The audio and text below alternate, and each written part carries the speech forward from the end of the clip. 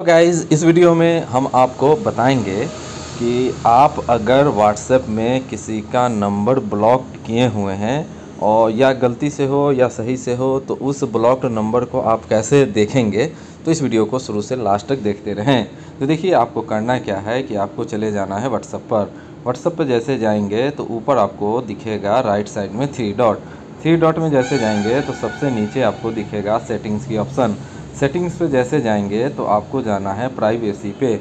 जैसे आप प्राइवेसी पे जाएँगे तो इस तरह से स्क्रॉल करेंगे तो यहाँ पे दिखेगा ब्लॉक्ड कॉन्टैक्ट्स तो इस पर क्लिक करेंगे तो यहाँ पे जैसा कि देख रहे हैं, हमने तीन नंबर को ब्लॉक किया हुआ है। तो इस तरह से आप देख सकते हैं कि किसे किसे आपने ब्लॉक किया हुआ है। तो फिर अगर आपको अनब्लॉक करना है तो अनब्लॉक कर सकते हैं। तो यही तरीका है। तो अगर यहाँ पर वीडियो आपको अच्छा लगे तो वीडियो को लाइक कर दीजिएगा और चैनल को सब्सक्राइब कर दीजिएगा।